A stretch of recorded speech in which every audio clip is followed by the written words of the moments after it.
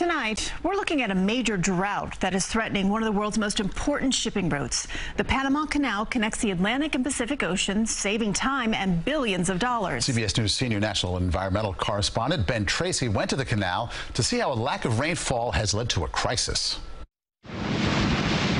The Panama Canal is one of the world's most successful shortcuts. About $270 billion of trade each year rides on this ribbon of water, leaving very little room for error. Panama is the route. Boris Moreno is the canal's vice president of operations. I've never walked across the Panama Canal. Yeah, it's an experience. He says two thirds of canal traffic is either coming from or going to the United States.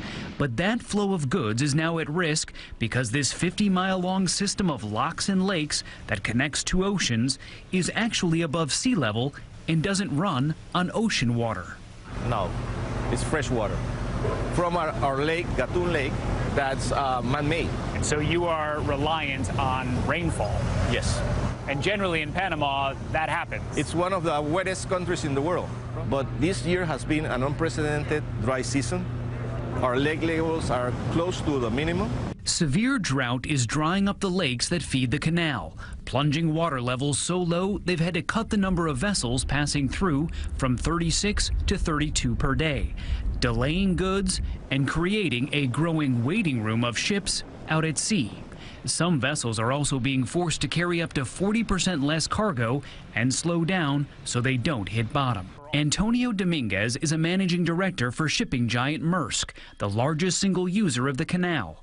He's worried Christmas merchandise could be impacted if the drought drags on and shippers are forced to use longer routes. Your industry is a big contributor to climate change.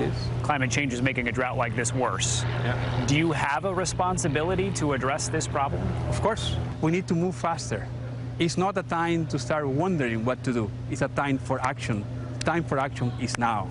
Because in shipping lanes like the Panama Canal, time is also money. Ben Tracy, CBS News.